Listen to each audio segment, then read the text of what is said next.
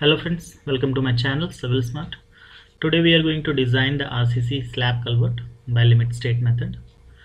We have already designed the box culvert design and uh, generally uh, if we have a hard strata at the bottom of the slab then we go for the RCC slab culvert and that is economical in respect to the box culvert design.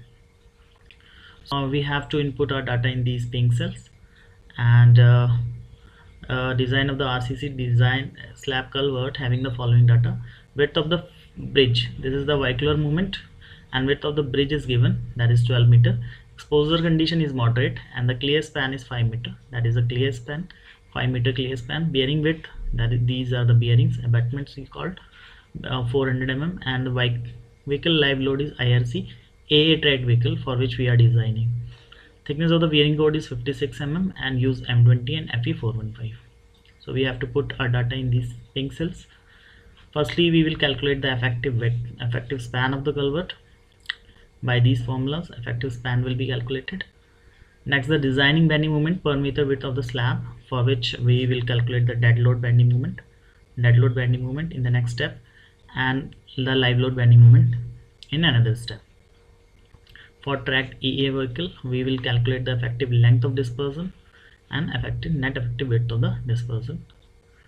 Then we'll calculate the impact factor because the load is a moving load and uh, which will be dynamic load. So impact factor and the live load bending moment will be calculated.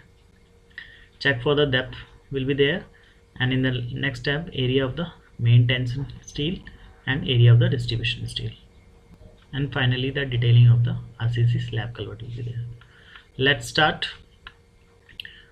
Okay we have a RCC deck, deck slab culvert. Width of the bridge is 12 meter.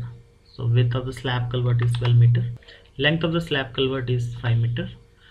And bearing width is 400 mm and thickness of the bearing cord is 56 mm and FCK is M25 and FY is 415 right next uh, you will see um, let's calculate the effective span of the culvert. Let's assume the overall depth of the slab. We have to assume the overall depth. Overall depth we have assumed 550 mm let's assume and diameter of the bar 20 mm and clear cover we have assumed suppose 50 mm clear cover. Now you can see that effective depth is capital D overall depth minus clear cover minus dia by 2 490 mm is the effective depth and effective span is clear span plus effective depth for 5.49 because we have clear span is 5 meter. And clear span plus bearing 5.4 so whichever is less is calculated as L effective. Now you can see the next step design of the bending moment. We have to calculate the bending moment to calculate the area of the steel. So dead load bending moment is MDL so weight of the slab is thickness of the slab into 25 mm this is thickness of slab is 550 mm we have assumed 13.75 wearing coat uh, weight of the wearing coat is uh, bearing cord thickness that is 56 mm into uh, the unit weight 22 kilonewton per meter cube. Now the total dead load is add up 14.98 and the dead load bending moment is by this formula w dead load into l effective square.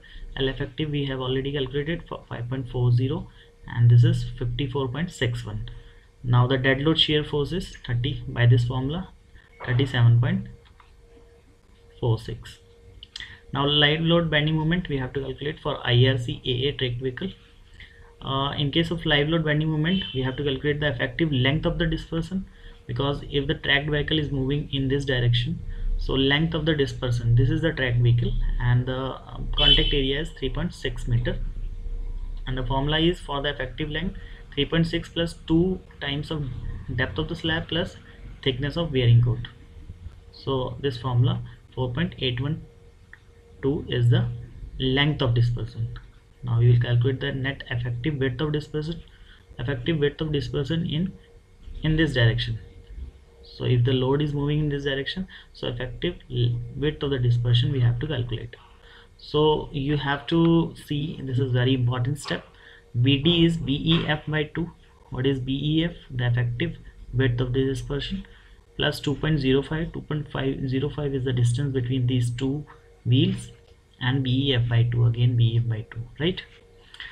So what is BEF? BEF is the effective width of the dispersion. From IRC uh, 21 clause number this this formula is alpha a 1 minus a by l naught plus b1 what is alpha? Alpha we have to calculate by b by l naught. You can see this table in IRC so b by l naught is alpha.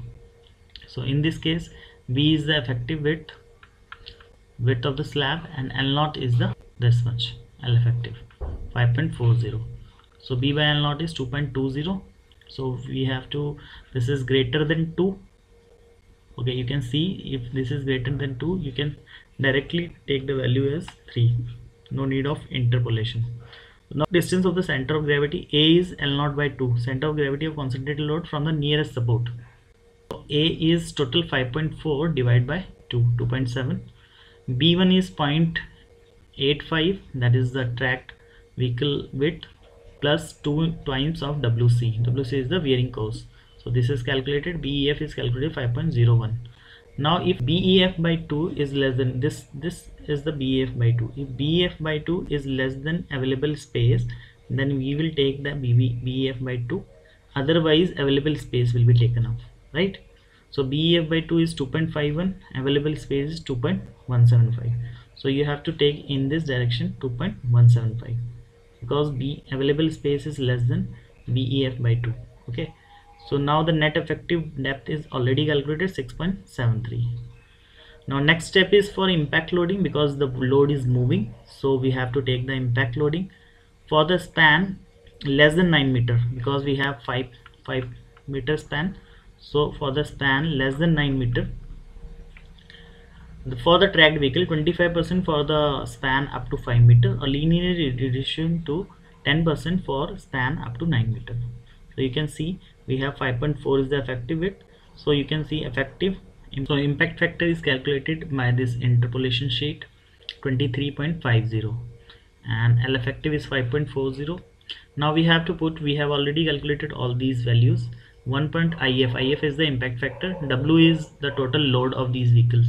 So total load is 350 plus 350 is 700 okay? And BD width of the dispersion.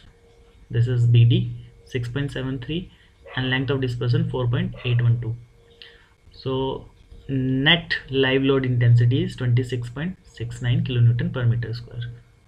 This is the formula.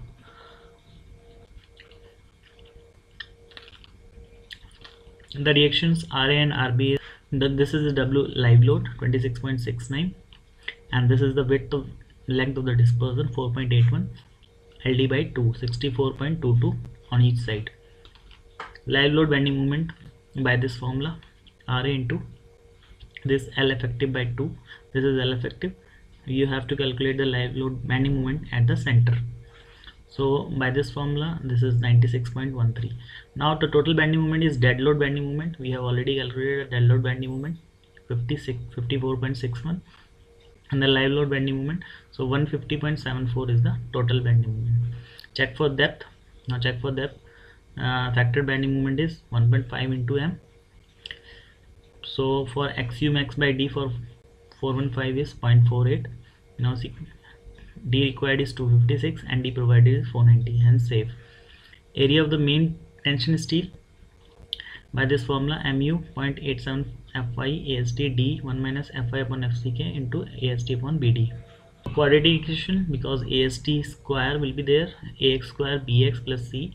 Then uh, this sheet has calculated the constant values and ast required is calculated by this formula. So we have to take the smaller value. It has already been taken. Ast minimum is by this formula is this much. Ast required maximum of above these two. If we choose 20 mm dia now the spacing provided will be 230 mm so main steel is 20 mm at the rate 230 mm center to center. Area of distribution steel. Distribution steel by AS, IRC we have a formula 0.3 uh, live load moment and 0.2 dead load moment this is the total moment is required. Factor moment is this much. If we choose 12 mm dia if you choose 12 mm dia AST is this much effective depth in case of distribution steel total effective depth minus dia uh, we have provided 20 mm minus uh, 12 by 2 then this is effective depth is 474 again there is a quadratic equation. Constant has already been calculated and the spacing provided is 320 mm. So 12 mm dia 320 mm center to center. Ast provided is this much in the distribution steel. So you can see the detailing.